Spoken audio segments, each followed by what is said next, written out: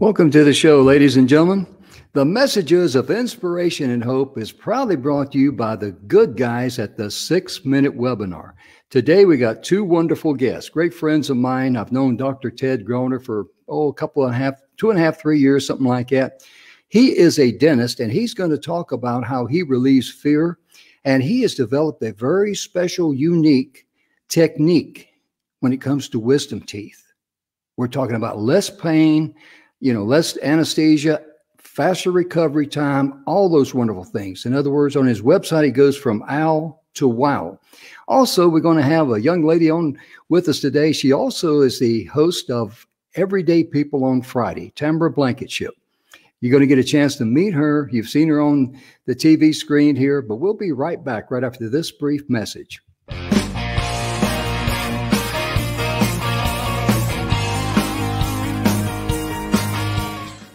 And welcome to the Messages of Inspiration and Hope show that's proudly sponsored by the Six Minute Webinar. Today we have some exciting and very interesting guests, real people just like you and me. Thank you for tuning in. Enjoy the show. Now here's Jim. Thank you so much, and we're back. Let me welcome Dr. Ted Grellner to the stage. Hey, Doc, how you doing today? I'm doing great, Jim. Oh my goodness, you're an oral surgery uh, oral surgeon from Tampa, Florida. Is that correct? I am. I've been in oral surgery for about 30 years. Uh, I mm-hmm. got my training in the Air Force. Uh, started in the Air Force actually as a general dentist, and then got mm-hmm. my training in oral and maxillofacial surgery, uh, which takes um, nowadays it's four years, sometimes six if you want to get your MD. Mm-hmm. I didn't mm. get my MD; didn't need it, um, mm. but um, that's what it is. It, it's basically it's it's an extended period of time where you're working as a first year surgical resident in a hospital setting mm-hmm. rotating mm-hmm. through a variety of medical specialties uh, anesthesia that's where we get our anesthesia training under mm-hmm. anesthesiology uh, uh, uh the eyes of the an experienced anesthesiologist and uh, it's a really interesting four years Oh, yeah. The thing that really interested me about uh, Dr. Ted, ladies and gentlemen, was that when we first met him, we were in Orlando, Florida. When I say me and Don McGrath, we were down there. And uh, the thing, when he started talking about being a dentist and all that, I guess all of us have those moments that we've been to the dentist that were not pleasant. And I was listening to him talk and I'm thinking, wow, if I really needed some dental work, I think I'd want to go to this guy because he understands where he's coming from with that pain because he was 19 years of age. He suffered from wisdom teeth and the, the traditional way of removing those uh, wisdom teeth. And so he's got skin in the game. So he had, he knew how he felt, and he he didn't want his other patients to feel that way. And I really salute you on that, uh, Ted, because that's just amazing. Would you share your experience with the folks, please? Well, as a 19 year old college student, I had no idea what wisdom teeth were. I just knew that I had uh, the gum in the back of my mouth starting to swell and, and become painful. And uh, after going to an oral surgeon and finding out that the gum was affected, I hmm. spent you know up to a week in pain waiting for the antibiotic to treat the infection. Then uh, then he removed the tooth, and and in my brilliance, I decided to do just the one, not all four, uh, and do it awake, uh, which was another mistake. In fact, I've probably made multiple mistakes in this this experience. Um, the choice of anesthetic was probably a big one because it turned out it, this single tooth was a very, very difficult tooth to remove. It had long, uh, narrow uh, roots, four of them. All four of them broke. And so the surgeon had to remove each one of them individually. Uh, took him 45 minutes, nearly an hour um, when he was getting close to finish, he took the, the towel off my eyes and asked if I was doing okay. And the fact that he asked that question meant I probably shouldn't be. So I started feeling bad. God knows why I went into oral surgery.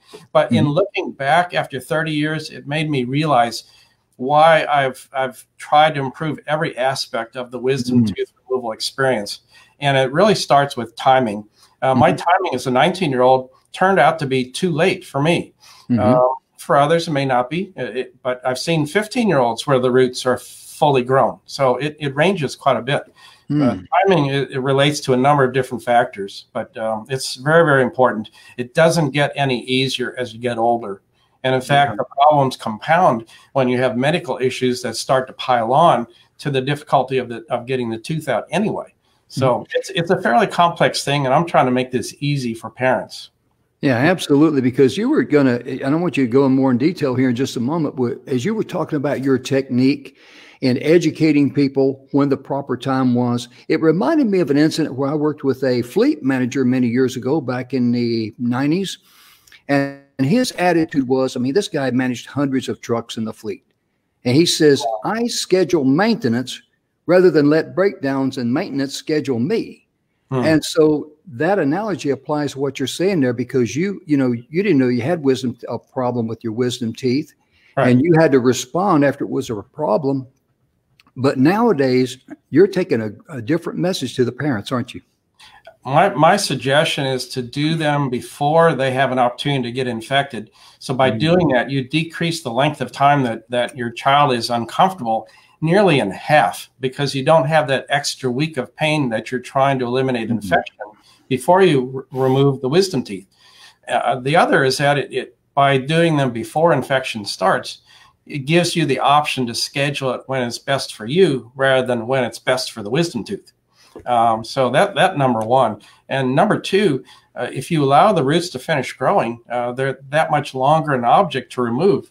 Um, I actually have a a couple of uh, examples here. Let's see, we got this is a fully fully formed wisdom tooth uh, that was I actually 3D printed this. This is what it looks like, you know, before the roots have a chance to grow. So mm. if hmm. you have a, a, tooth that's smaller, doesn't have roots going in three different directions, obviously that's an easier time to remove it. Oh, the other yeah. factor is that as we go from the mid to late teens, the bone hardens like slow setting concrete. So not only do you have the root the roots growing during that time, but you have the bone hardening so that once you hit 20, you're at full on concrete stage. And wow. we think of 20 year olds as being young, but when it comes to bone uh, age, no, not so. So th- those are the advantages of the teen. It's, it really is a special opportunity uh, to deal with it before uh, infection starts before pain. When mm-hmm. somebody says the wisdom teeth are bothering them, it, essentially it means the gum has gotten infected, and that's too late. You want to beat that. Oh yeah, because that's uh, after you got a major problem, and that just you know it's going to be uh, a lot more pain and longer right. recovery time. You said something earlier before we went live, and I really like this technique because my dentist used the same thing on me without kind of like telling me because he you control the how long the person has anesthesia. Would you yeah. share that with us, please? Um, the most common narcotic that's given in the beginning of an IV anesthetic is a narcotic that lasts about an hour. So it's given at the beginning of the case. They're guesstimating about how much is is the right amount for the, that patient. But once it's in, it's like taking a pill. You can't take it back. Yeah. So it lasts an hour. If the surgery only lasts 30 minutes, well, you've got 30 more minutes of that narcotics side effects to have to deal with before you're comfortable. I changed that in that I, I found a an extremely short acting narcotic about 17, 18 years ago that uh, is it's given as a continuous drip by a pump. What happens is when that pump is turned off, the narcotic is gone in six to eight minutes gone. Mm. So your recovery is 10 to 20 minutes and then walking out the door.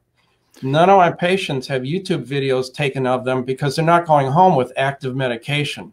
Mm. And not that surgeons intentionally send the patients home with with active medication, but all mm. you have to do is do a uh, a search on YouTube for wisdom teeth, and you're going to find just loads of wisdom teeth where kids don't remember the way home they're they're they're basically speaking gibberish, and that tells you that they still got active narcotic or at least active drug. Let's put it that way on board.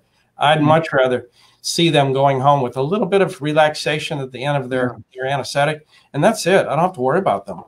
Yeah. So, and it's a good idea for anyone that's going to be, you know, going to a, a, dentist or any doctor like that to have someone drive you to there and from there. Because uh, right. I've known I've known people that you know I'm going to the dentist, got to have a a wisdom tooth taken out. Okay, and they drive and come back, and you know, you know that's you know, well, what you said that's extremely dangerous because there's no way you can be mentally alert. Your reflex is going to be slowed. You're going to be mentally impaired. The whole the whole thing, you know. No, if you're sedated, you cannot drive, uh, and legally no you way. can drive for 24 hours.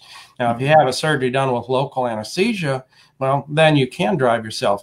But mm-hmm. there, there's another point and the reason why spending the money on a general anesthetic is important is because remember the story I just told you about in having my wisdom tooth removed. Well, this is what 50 years later, and I still remember that same story. Well, if I had been put to sleep for that surgery, I wouldn't be telling you any of the gory details because I wouldn't remember them. And that to me is is the second benefit of going to sleep. Not only do you experience the difficulty of the surgery, but you truly don't have a memory to carry on that may interfere with your getting routine general dental care throughout your life. So it makes a huge difference.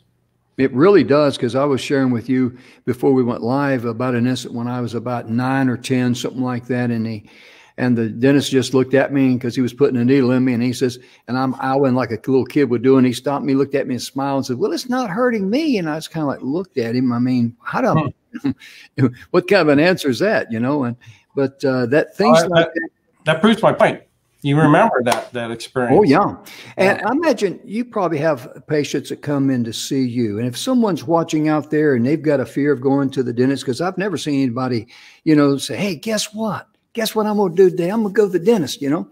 But I mean, you, you, you know what I mean. I'm not trying to be facetious or funny, sure. but I mean, you know, we all have that. Oh, we're going to the dentist. You know, the heart rate's going to go up a little bit. But someone who has a fear, who's experienced trauma from going to the dentist I know you've you've dealt with that, and what would you advise someone to just give them good advice out there in, in the audience, please? Well, let me separate the, the two.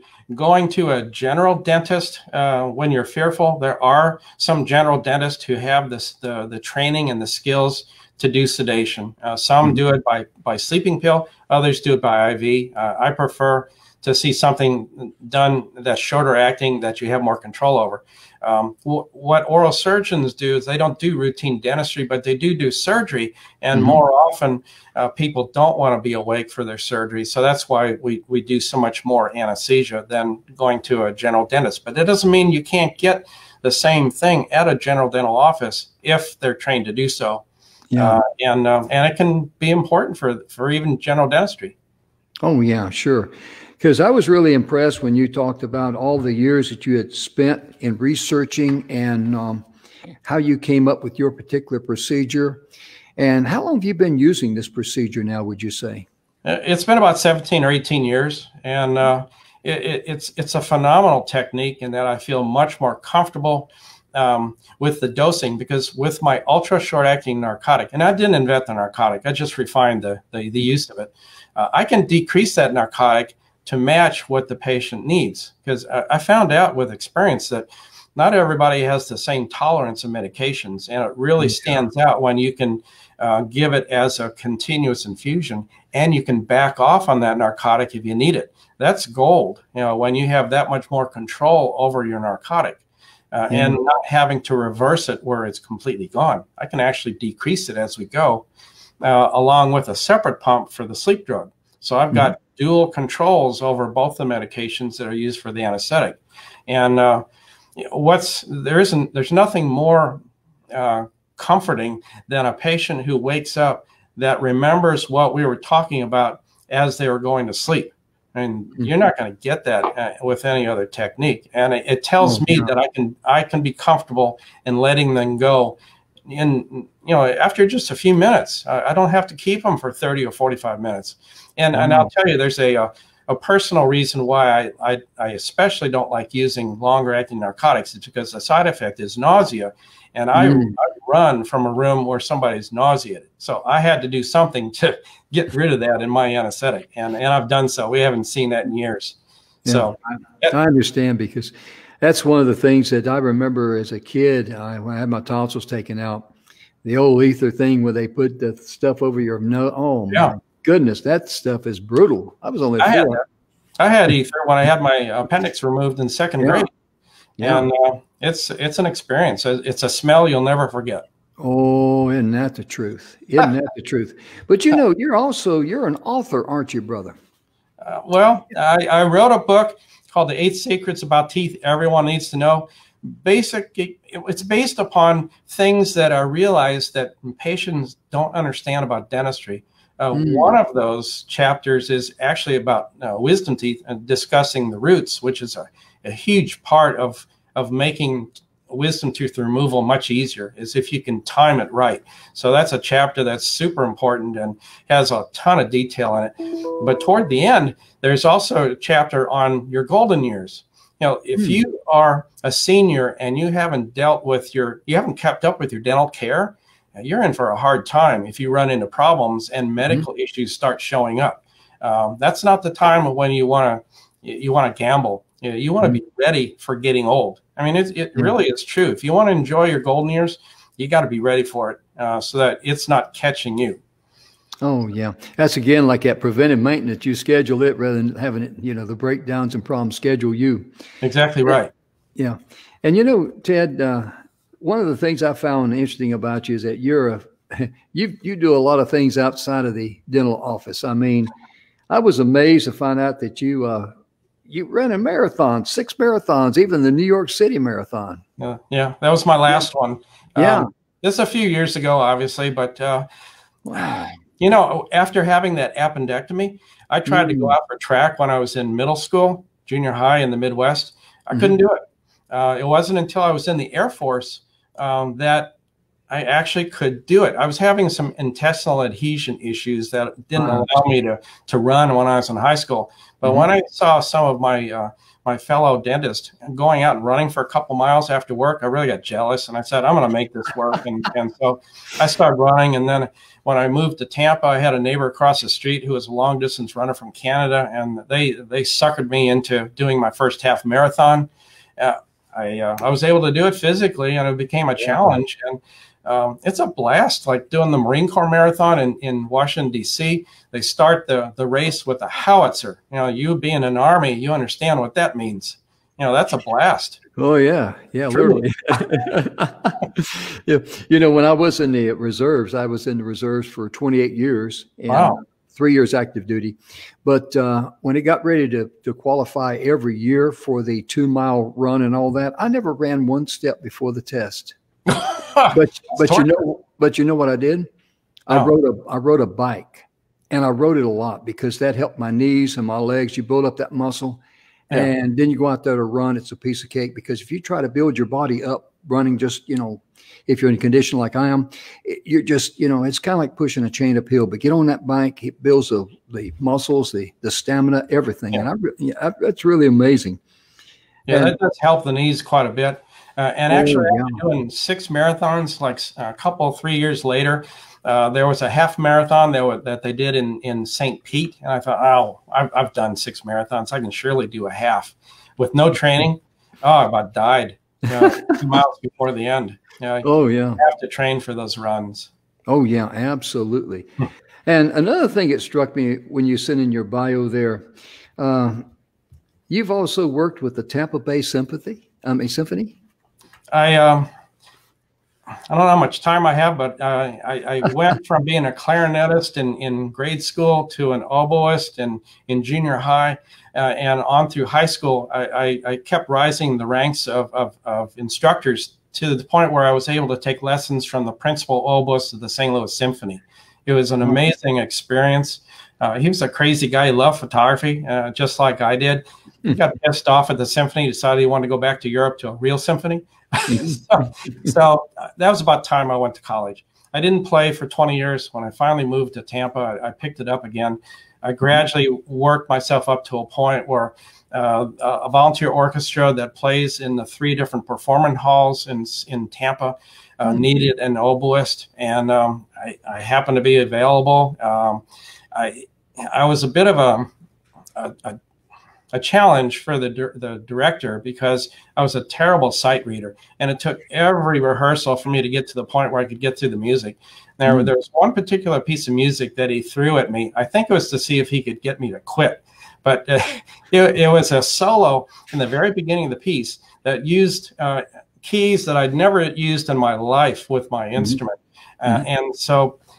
I never got it right during rehearsal, but dang if I didn't hit it during each of the three performances. I was determined I was going to do it, and it, it, worked out really well. So it was it was tough. And the rest of the story, if you remember, uh, Paul Harvey. Oh yeah. That first performance that I had to do that solo, I was sick with with the, the flu the day before, and I was I was still only able to keep down seven up when I went to do that performance because you know what the rule is: the show must go on. Oh yeah, oh yeah, absolutely. And I can appreciate how you felt there. My goodness gracious. And you're also you got uh, two grown kids and you got four rescue animals, huh? I do. They, they somehow find me. Um, uh, I have a schnauzer that um, my girlfriend's uh, niece they found running late at night on a on a busy road in a rainstorm, and and this poor little guy was scared to death. Uh, we tried to track him down, but it, it wasn't chipped, and uh, they were going to give him to a Schnauzer rescue, and I, I saw how well behaved he was, and and uh, I'd never had a Schnauzer. You know, we all thought that Schnauzers were for old people, but it turned out he was a super smart and, and lovable guy, and he's been with me ever since. So. Um, then a couple other cats that we picked up. I'm allergic to cats, but these these cats needed homes, and uh, we got a we got a zoo. yeah. I tell people that you know cats, uh, you live with cats, and dogs yeah. live with you. Yeah. Because I'm a cat lover, and I appreciate their their just their personality. They got that little personality, like you know, I'm sorry, but I didn't get the memo. Who died and left you in charge? That's their attitude, you know. They're very different than dogs. I'd never lived with a cat, but uh, they can be very loving, and uh, oh yeah, they're smart little dudes. Oh yeah, they really are. Hmm. And you know, uh, looking at the looking at what you've sent me and all, and it's very impressive. You know, your career and all. My goodness gracious, uh, I tip my hat to you because you really accomplished a lot. Because you didn't just go in there and just say, "I'm just going to continue doing what I've been doing." I've been trained to do this. You thought outside the box and you look for ways because you put your uh, patients first in right. your heart. And, and, that's a message for all entrepreneurs is don't look at what, you know, you got or whatever. Look what you can do for someone else to ease the pain in their life. Right. And and for that, Ted, I got to salute you, my man. I, I really do because that's really amazing. Thank you. And but you said you've done all these things. What's is there anything that uh, you've done that no one else knows about and you'd like to share with us today? There's one thing that that people don't know about me that they wouldn't know, and it actually starts at birth. It, it's kind of crazy. My uh, my birth certificate is worth probably more than most people's because it was signed by William Masters of Masters and Johnson fame. Mm-hmm. Okay. Yeah, he uh, he happened to be my mother's OBGYN. And uh, oh. Yeah, who, who knew? It's crazy. Yeah. Not yeah, like you, starting out uh, in the hands of a celeb. oh yeah, absolutely. Yeah, when you start out seeing my birth certificate, you know, because of I'm thinking, okay, you got born in a rich family because I knew that mine wouldn't be worth anything. but you know, also too, when people go to your website, and let me put your website up there. I'd like for you to share with them what they would see or find interesting there. Okay. Um, okay. Will, will you put that up, or you want me to describe it, or? No, just what would what would someone uh, see when they go to your website? What would they find um, unique? Well, what they're going to find is is they're going to find information in terms of why timing is important for removing wisdom teeth because it all the success of making a good experience for your team truly starts with getting the timing right and it's not the mm. same for everybody so that's one thing that uh, when you come to us we're going to get a, a, at least a panoramic x-ray to see what stage of growth uh, wisdom teeth are at and the, the important, important thing is to do it before your kids have problems so uh, bring them you know, say around 15 or 16, depending on when their, their, their adult teeth came in, that'll help you to judge when.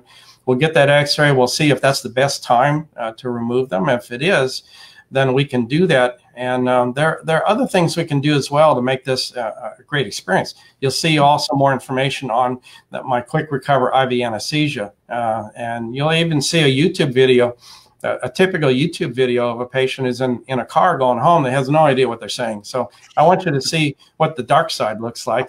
Mm-hmm. And then when you experience your child being clear when they wake up after the surgery, you know, even mm. if it was an hour, an hour and a quarter, they're talking to you and, uh, and they're, they're not off in la la land. So yeah. both of those are, are probably unique to us uh, in terms of the difference with other other offices. And the other is pain control. And they're mm. I'm constantly trying to find different ways in order to be able to reduce the discomfort after the surgery. And probably the newest thing that we've started using is taking advantage of platelets that we can we can draw from the blood when we start the IV, spin it out, uh, create a product that has extra platelets in it. Why is that important? Well, platelets are the trigger not only for clotting, but also for triggering the healing process. So I figured if we game the system, it can't hurt. So indeed, it, it helps uh, to speed the healing of the gum tissue. But the bigger benefit is it decreases the pain that mm. patients have afterwards.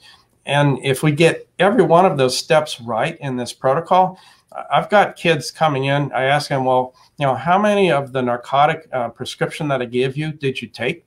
And uh, the last one I do, 17 year old, zero.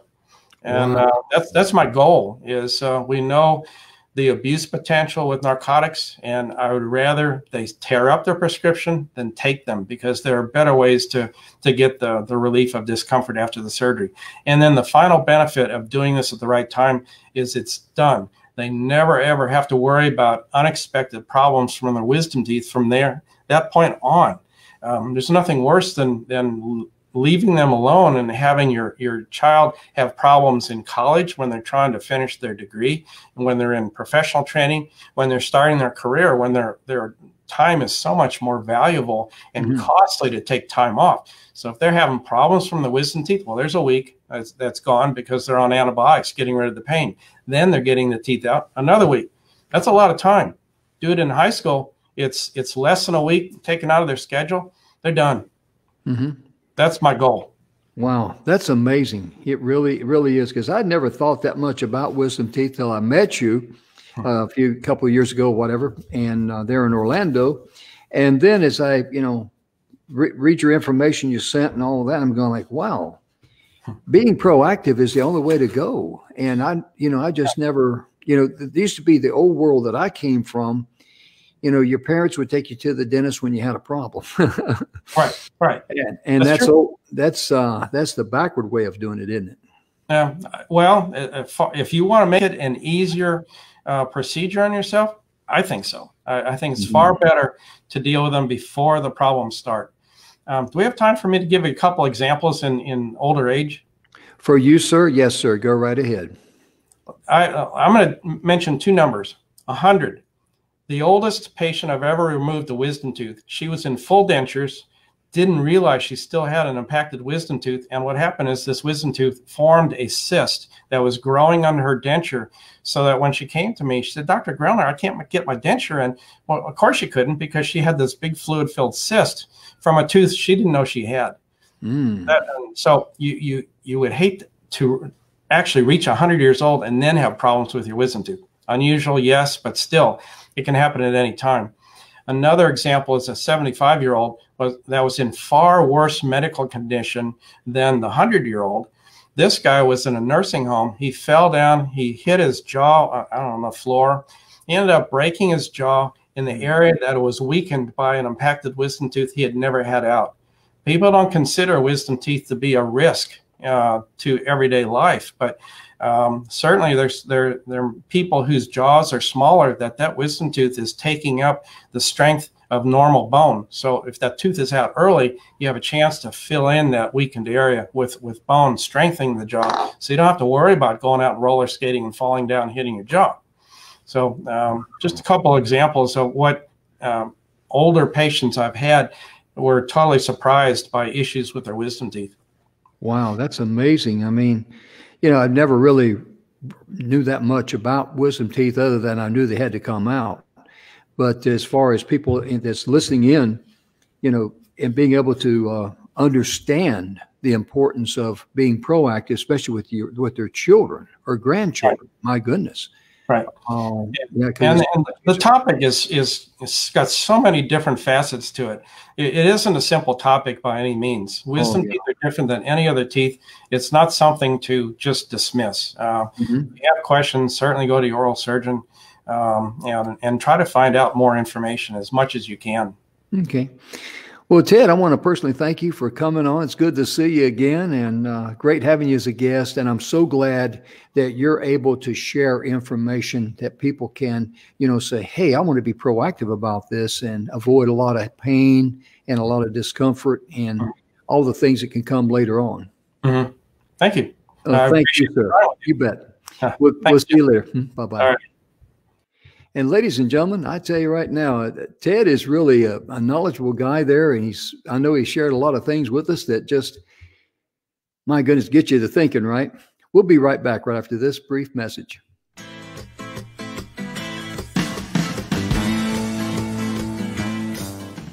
Hi, I'm Angel Marie Monticelli with Angel Marie Shines, and I had the pleasure, the honor, to go through training for the six-minute webinar. Oh my gosh this webinar and how it's structured and how they teach it. Thank you, Speakers Pathway Coalition. Thank you, Don McGrath, and the whole team for the six minute webinar because you made it so simple, easy.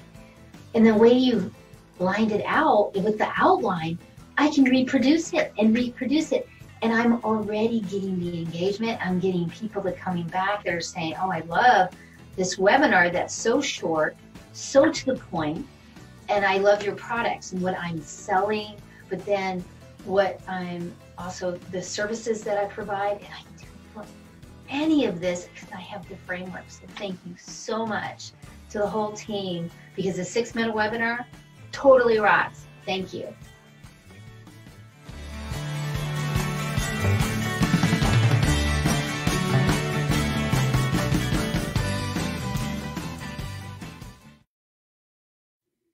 Well, we're back, ladies and gentlemen, and thank you, Angel Marie Monticelli, for that wonderful testimony that you gave. She's a wonderful lady. She's been on this show before, and we're going to have her on again real soon because she is really a shine on lady. But right now, I got to bring another young lady on board, and you may have seen her on Everyday People. Hello, Tamara. How you doing? Hi. What a great interview. Thank you for sharing with Doctor. That was amazing. Oh my goodness, yes. I mean, Ted is just you know I was so impressed with him, and yeah. he, he, says, "Can I be on your show?" And yes, because of the topic that he is sharing, you know, he he covers some things that most people don't even think about. No, and, I never thought about taking my wisdom from my daughters. I've got that's the only one left. The other ones have already had done. I'm definitely going to take advantage of that information and use it for my daughter. So oh yeah, absolutely, because it's very important. Because they, you know, goodness when you have a pain like that, it's uh, it, it, doesn't go away with an aspirin, that's for sure. no, absolutely not. So, and a lot of people know you; they're familiar with you because you're one of the stars of the everyday people, as I like to say. yeah, I get to spend time with you every week. It's lovely. oh yeah, you know, I wanted to uh, start out a little bit about we we started on our journey on this journey here that took us here. We actually wanted to do something on TV was it about July last year, June, July, someone there. We started talking. I don't remember how it came up. We started talking, but what we did not know was that we had a higher calling coming. Yeah. And yeah, because everything we tried to get going, it didn't, you know, because we didn't know the pandemic was coming. and we created the, the original webinar series on just using Zoom and Facebook Live because that's all we had. Yep. And then this thing just took off, and here we are. We're on the show every Friday with everyday people. And my goodness gracious, it's just been a real treat for us, hasn't it, Tamara? It has. It's been great interviewing some amazing people, sharing mm. their life journey and their stories. It's been a lot of fun. Yeah. Oh, yeah. But uh, share with the folks out there a little bit about yourself because you're used to interviewing people. But, you know, if someone says, uh, Who is Tamara Blankenship? What would you say? Well, I work with conflict resolution. I consider myself a relationship communication specialist. So I work in oh. corporate America. I work in relationships. We, we, got just a little bit of an audio problem there. I don't know what happened. All of a sudden, it got to dragging a little bit. I don't know if there's a signal or what. Can you hear us okay, Tamara? I can hear us just fine. Okay. All right. Let's let's try it again. So I navigate conflict resolution. I focus on relationship communication Mm-hmm. and helping people navigate things differently. Can't hear me consistently. Is that what's going on? What happens is it starts breaking up, and it sounds like you're, you know, you're talking through, you know, in a barrel or something. But we, are getting about every every other word or something. That's I don't know what the signal is. Are you on Ethernet or are you on a Wi-Fi? I am on Ethernet. On Ethernet. Okay, well that should. Yeah. Okay. Well, they say third time's a charm. Let's give it one more time. Too funny. So what I help people with is conflict resolution. it's kind of a great example right now. Yeah. so staying positive and looking for those opportunities when challenges pop up and how to navigate it differently. So giving yourself some new, you know, little treasures. Are you still hearing me every other word? no, you're good. Go ahead. cool. You're giving me that look like, hmm, something's wrong. but Ted just he says, I hear it just fine. So Oh, great. Well, maybe awesome. it was me. Might have been my ears. Are you selective listening? Too cute. So, yeah, I get these awesome opportunities where I help people who are navigating some serious challenges in relationships or even in business and sometimes personal.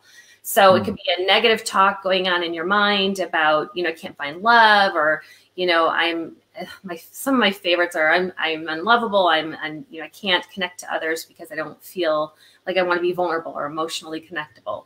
So mm-hmm. giving them an opportunity to work through those moments and really redefine that space is what I love to do and helping people really find their voice in those relationships again. Oh yeah, and you stay very very busy because uh, in addition to all the things that you do, you recently answered the call to uh, help some other folks out, and you're doing that too. And uh, it's it's just really, I tip my hat to you. I mean, what do you do in the morning? You get up, you you eat a big bowl of Wheaties or what? no, I actually don't eat until eleven o'clock. I fast for like twelve hours, so it, or at least a little wow. bit more than that. But anyway, yeah. So um, no, I actually do a great practice of meditation in the morning. I get into physical, you know, some kind of physical movement. I usually hike mm-hmm. or go straight to the gym and do a great workout or something. Get the get the mo the mojo moving, if you will. Oh, okay. So, keep yeah. myself active. yeah, my morning. I got up this morning about four. Of course, I always drink water. You know, while my coffee is getting brewed, because I think what, drinking a glass of water. I read that that drinking a glass of water uh, is what the Japanese do, and it helps them lose weight, but it also, you know, helps them mentally, helps them in all areas of their life because we don't realize, or we, may, we maybe don't realize, but maybe don't think about it. But at night when we go to sleep, and we're actually fasting. Yes.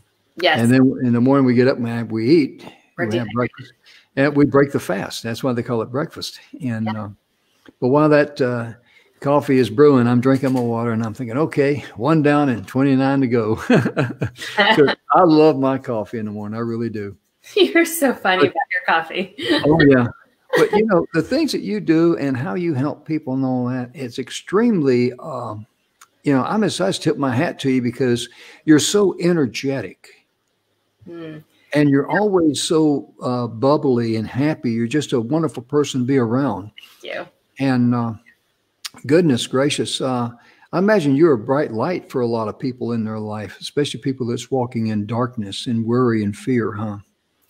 Yeah, unfortunately, a lot of people are struggling with. Um, some of my clients go through suicidal thoughts or navigating severe mm. anxiety or depression. So we give them a new opportunity to see that that inner resistance and see something different. How can you, you know, how can you see anxiety as a gift? How can you see depression as a gift? What can you do with it? So mm-hmm. I love giving them a chance to play with some of those experiences and uh, just you know really look at to what is what is anxiety really about? You know is it fear of the mm-hmm. future? Okay so fearful of the future? What am, what am i making up? What am i hearing? And so getting them an opportunity to kind of shift that perspective. It's not always i loved our one of our clients that we had or one of the people we had interviewed a couple of weeks ago talked about how it's more in the body depression mm-hmm. versus in that suicidal patterning. Um, i loved what he had to say about that and how it it does. It starts off somewhere. It could be a belief system, it could be a vitamin deficiency, it could be mm-hmm. something that starts it. So it can be a treasure hunt to figure out, you know, is it a belief?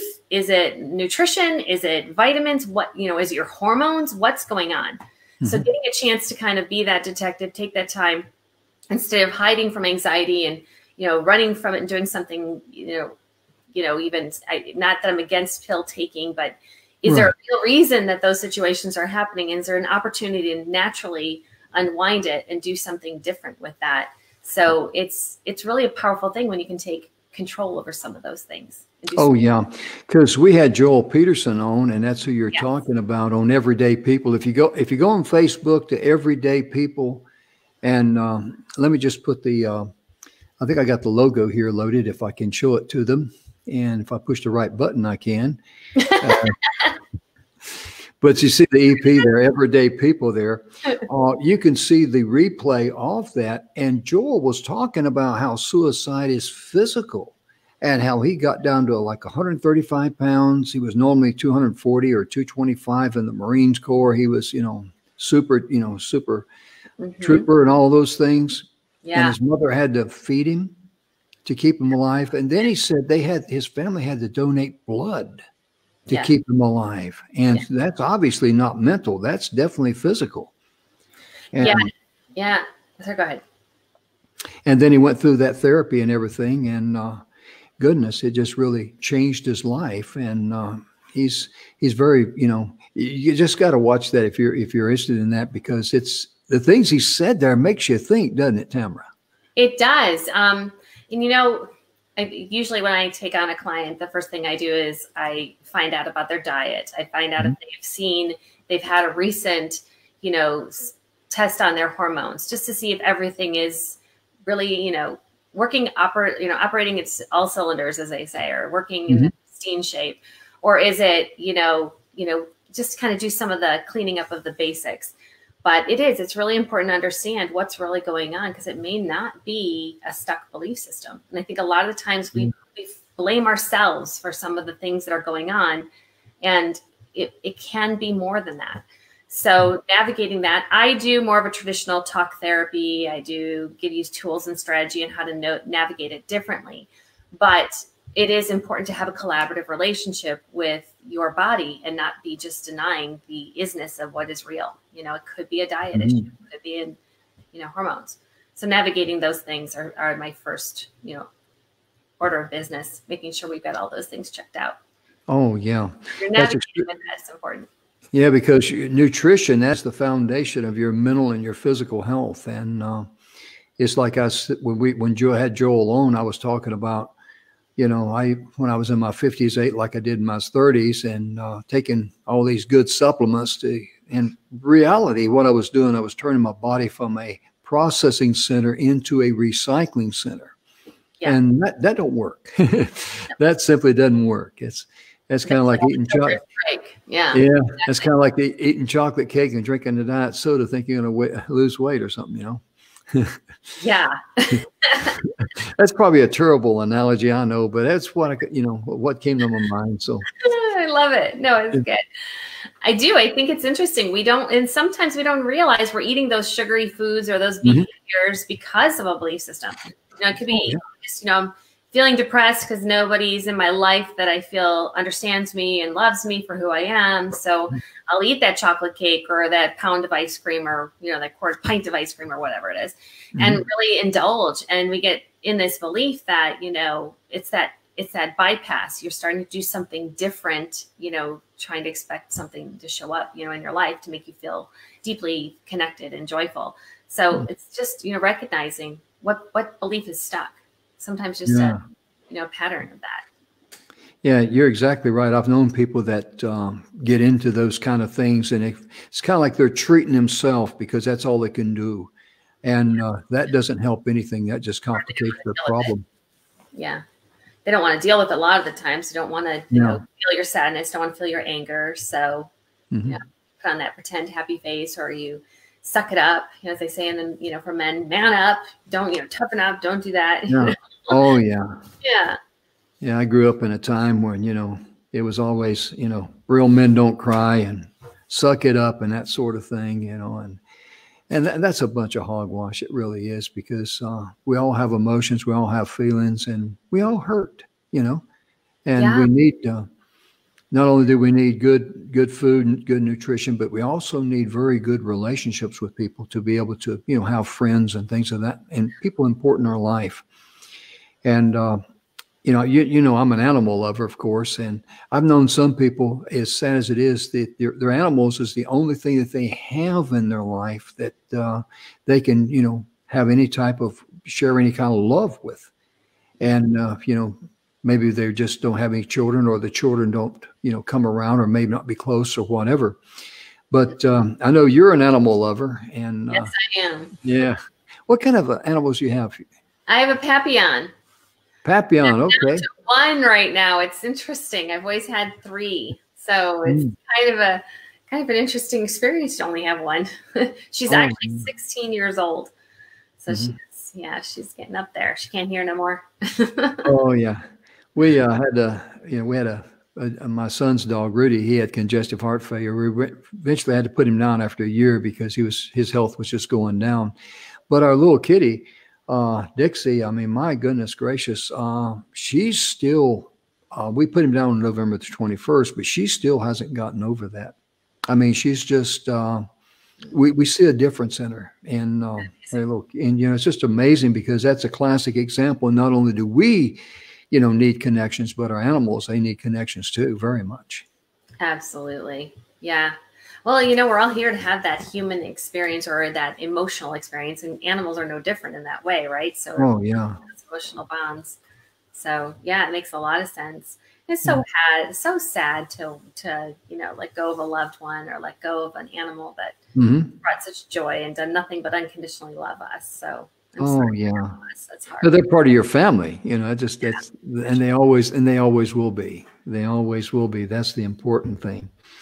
And you know, Tamara, uh, working with you on the Everyday People show, my goodness gracious, we don't have any problem uh, finding people that want to be on that show, do we? No, it's a great space. The whole purpose behind it is just oh. to share lovely stories about, you know, why they get up in the morning and what drives them, their mm-hmm. Mm-hmm.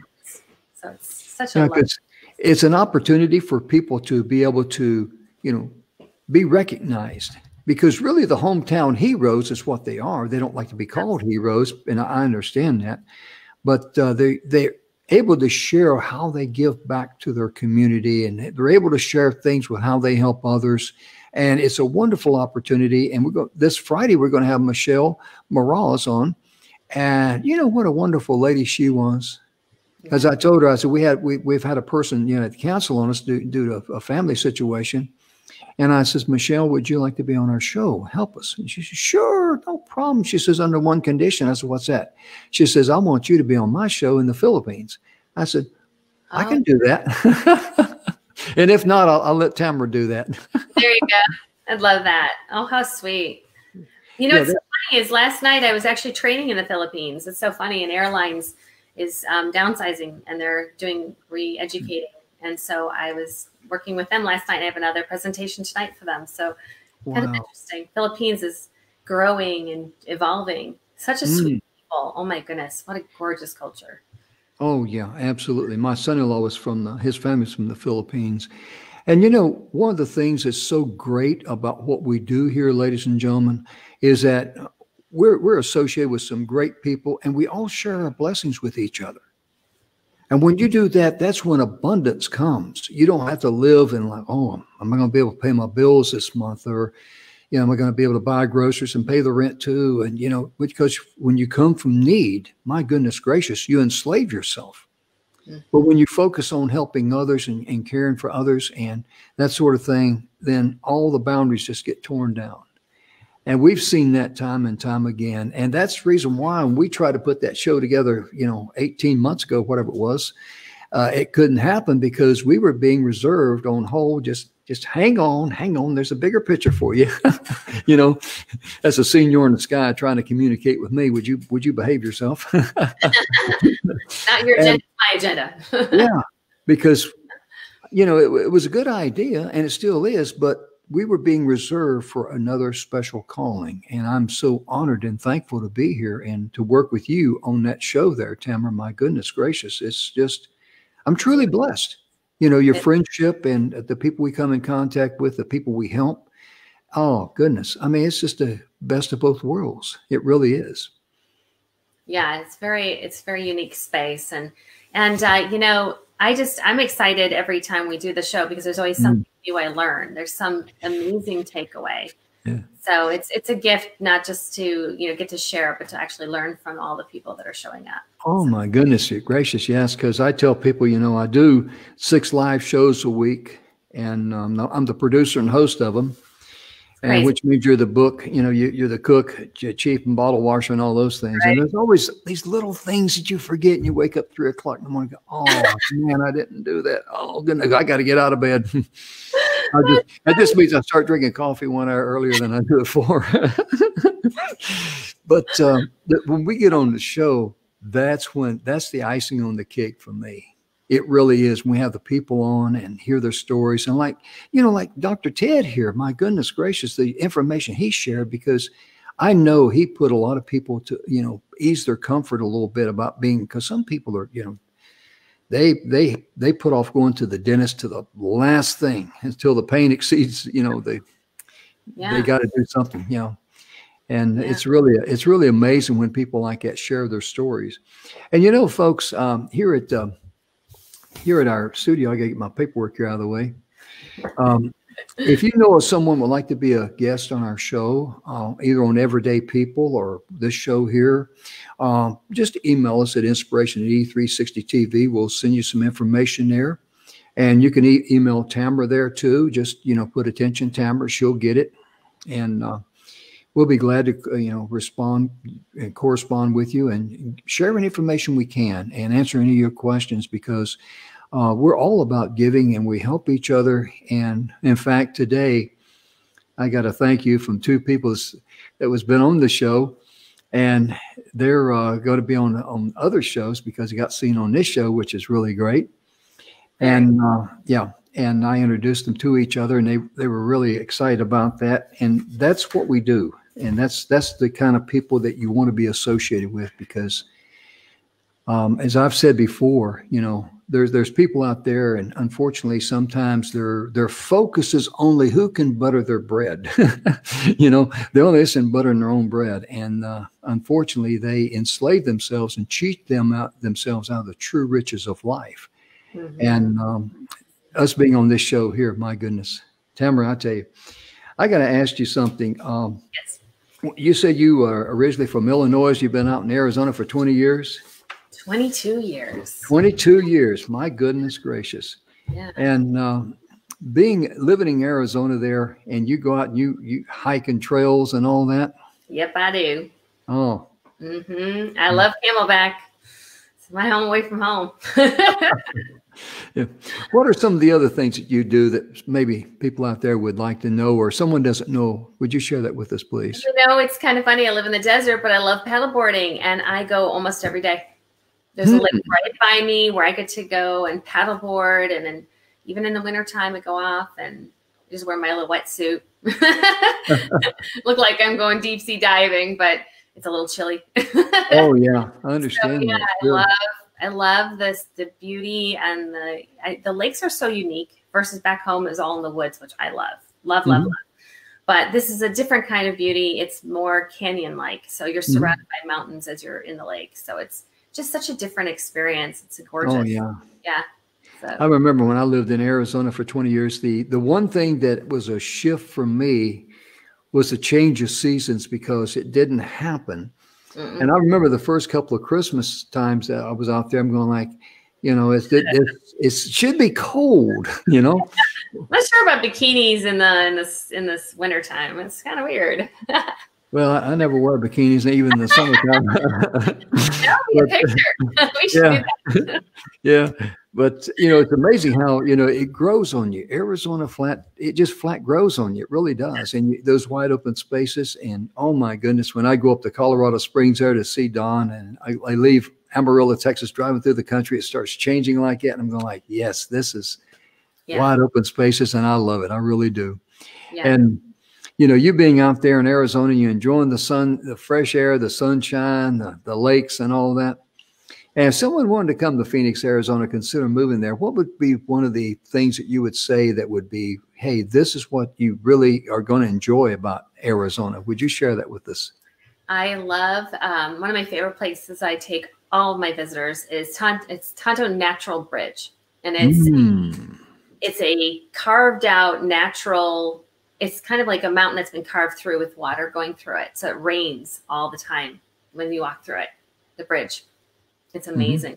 It's travertine, so it it has leaky holes and the the water drips through from the top. It's just an Wow. amazing experience. So it's a real quick hike. It is a little bit more treacherous. You know, it's not a simple mm-hmm. hike. I think they actually have stairs going down one side. So if you just want to walk and check it out, you can actually go downstairs to it. But there is a beautiful hike to get to it. So it's one of my favorite little hideaways. There's so many beautiful mm-hmm. places out here. You know, there's a, you know, just amazing antelope. Is Antelope Canyon? I think that's between the two states. I think it's between. I'm not even sure mm-hmm. exactly mm-hmm. where that is, but I know that there's some beautiful views in there. Mm-hmm. The one thing that I tell people, the thing that's most unique to me about Arizona, there is no, and I've I've been all over Arizona. I've flown over in helicopters, and I've served in the guard out there. There's no place in Arizona that you can stand and not see mountains. That's true. Yeah, very true. Yeah, yeah very true. true. And I lived in elevations there in Bisbee. It's about 5,200 feet. And up there around when I moved up the, the Benson area there at J6, it's about 4,500 feet. And that is just beautiful elevations because the weather's nice. And, you know, it's just, uh, I just really loved it. I really do. And you might see the Mule Mountains back here behind me. Uh, that's that's a snapshot from Bisbee. But uh, it just amazes me how far you can see out there, and there's no place that, you know you don't. There's no flatlands out there that's just you know like you see on like like on Hollywood. They see a desert that goes out you know for yeah, millions of miles, you know, and nothing in sight, and uh, that's only in the land of Hollywood. Yeah. You know, there's actually what I love about personally, what I love about Arizona is no matter which direction you go, you have a different climate. You can go mm. up hmm. north and you can see snow. You go down yeah. south, you see more desert. You go more yeah. you, either direction, you see the ocean. You know, so it's it's really pretty amazing. You know, out not not towards Texas, but you know, I mean, you see different yeah. climates and different experiences. So it's just amazing um, adversity everywhere. So it's mm-hmm. kind of a really beautiful place. Yeah, it's uh, really a shame that um, people cannot travel like they used to, but we're getting back into that some because even the airlines now are flying more. And my son was on a flight; he's in the military, and he says, "Hey, the plane was packed," mm-hmm. and um, you know, people are starting to get out there because, know, I look forward to coming out to Arizona. In fact, we're going to have. Um, Marty Haggard, he's going to be coming out to Casa Grande. We don't know when, but he's promised oh. me, yeah, He's the oldest son of Merle Haggard, the, the country and western star. He's going to come out there. He's got a lot of fans out there in Phoenix, and so when he comes out there, we're going to put on a we have a little dinner and have a good time, get together with all the folks out there. It's just going to be a wonderful time. That'd be so fun. Oh yeah, yeah. and Tamara, we're about out of time, but I'm going to give you just a moment just to share with any share anything you'd like with the folks out there, and just yeah. whatever's on your mind. Absolutely. Well, I just want to say if you're struggling with conflict, depression, or anxiety, and you're feeling like you need support, um, reach out. I'd love to see if I can give you some tips to navigate it a little bit differently.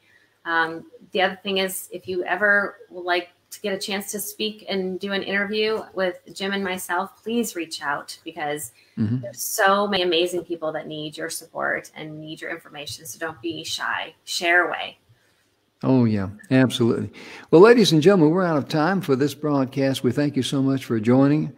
And Tamara, thank you for being here to get, you know, just to introduce you a little bit to the people out there because we're normally doing the interviewing and get a chance to meet you and talk with you some. So you're going to be on with, with us, uh, Everyday People, on Friday, same time, same place. Join our Facebook pages, the Messages of Inspiration and Hope, and the six minute webinar and the everyday people because we, we broadcast their lives. So thank you so much. And we'll, we hope you have a nice day and thanks for tuning in. We'll see you tomorrow. Bye-bye.